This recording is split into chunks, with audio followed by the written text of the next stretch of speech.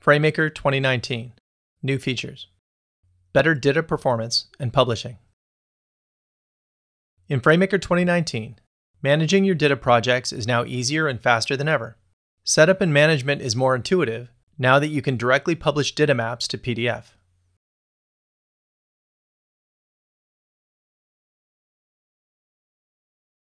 Configuring the output is easier as well.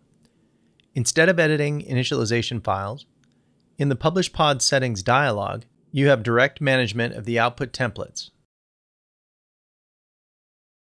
And if you have users who are more comfortable with traditional FrameMaker books and documents, you also have control over the Save as Book options here as well.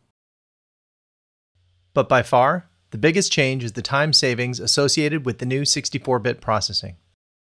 We have customers reporting a decrease in processing times for extremely large nested DITA maps in some cases over 4,000 topics, from many hours processing down to less than a single hour. We think the customer said it best. Just wow. And we think you'll agree. For a personalized demo or questions, please write to us at techcom at adobe.com.